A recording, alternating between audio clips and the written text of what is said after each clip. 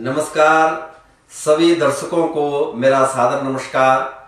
उत्तराखंड मुक्त विश्वविद्यालय के पत्रकारिता एवं मीडिया अध्ययन विद्या शाखा द्वारा एक नया पाठ्यक्रम शुरू कर दिया गया है, जिसमें युवा और जो पत्रकारिता के क्षेत्र में अपना भविष्य बनाना चाहते हैं उन युवाओं के लिए बहुत ही उपयोगी और बहुत ही कारगर कार्यक्रम है पाठ्यक्रम है जिसका नाम diploma in journalism and new media करके रखा गया है जिसका program code DJ N M चौबीस है।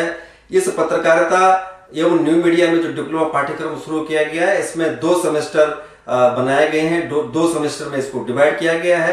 पहले सेमेस्टर में युवाओं को या शिक्षार्थियों को जो इसमें प्रवेश लेते हैं उनको पत्रकारिता एवं जन संचार से परिचित कराने का, परिचय कराने का प्रयास किया गया है। उनका जो पत्रकारिता और मास कॉम का जो कंसेप्ट है, उसको क्लियर कराने की कोशिश की गई है। और सेकेंड सेमेस्टर में जो वर्तमान दौर में डिजिटल मीडिया का जो युग है न्यू मीडिया का जो युग है, उसमें तमाम उन बिंदुओं पर इसमें जो है, जो हमारे राष्ट्रीय स्तर के, जो राज्य स्तर के, जो मीडिया के एक्सपर्ट हैं एकेडमिक्स हैं, उनके द्वारा चर्चा, पर चर्चा करके इस पाठ्यक्रम का जो की संरचना तैयार की गई है, इसका जो अध्ययन सामग्री है, वो तैयार की जा रही है।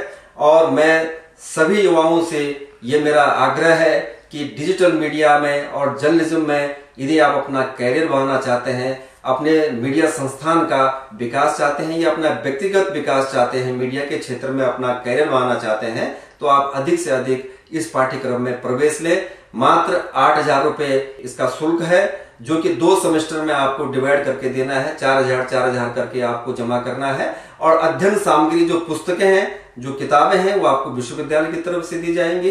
आप अधिक जानकारी के लिए विश्वविद्यालय की वेबसाइट www.uou.ac.in पर जाकर कर सकते हैं और मेरे पर्सनल जो मेरा कॉन्टेक्ट नंबर है, मेरा मोबाइल नंबर है nine four one zero nine six seven six double zero zero. इस पर मुझसे कांटेक्ट करके आप जुड़ सकते हैं, आप जानकारी ले सकते हैं और अब तक पंद्रह शिक्षार्थी इस पाठ्यक्रम में पंद्रह बीस दिन के अंदर अंदर इसमें प्रवेश ले चुके हैं। आप भी फ़ायदा उठाएँ और डिजिटल मीडिया में न्यू मीडिया में अपना कैरियर बनाए। नमस्कार।